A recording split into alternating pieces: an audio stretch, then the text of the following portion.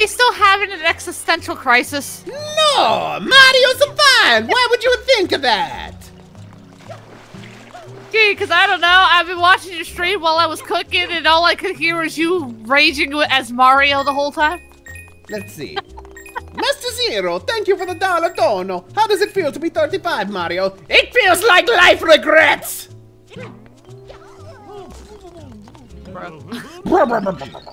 Hello, everybody. Get to the fucking point, you fat potato man! He's so angry.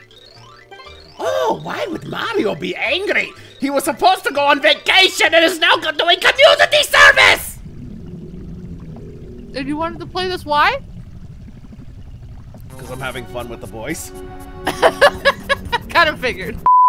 Oh, good, and now there's a big monster for Mario to deal with. Because Mario just can't think of anything better to do with his day.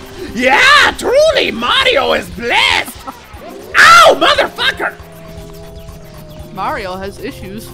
Mario has had it up to here! Oh, and what's this? The princess got kidnapped?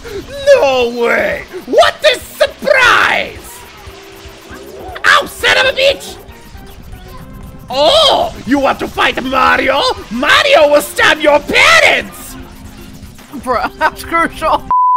Stop covering the beach in goo, you goopy dripping motherfucking mamma mia's! Makes sense, but okay. I'm supposed to be on vac- OW! Pain!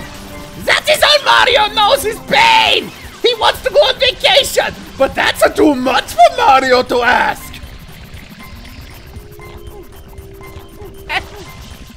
Money. It's the only You're thing. having, I, I, I can see why you're having fun with the voice.